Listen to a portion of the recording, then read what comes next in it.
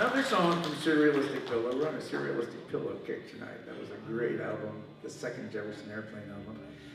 Jorma had a had an instrumental in there called Embryonic Journey, and here's Jude Gold's treatment of that.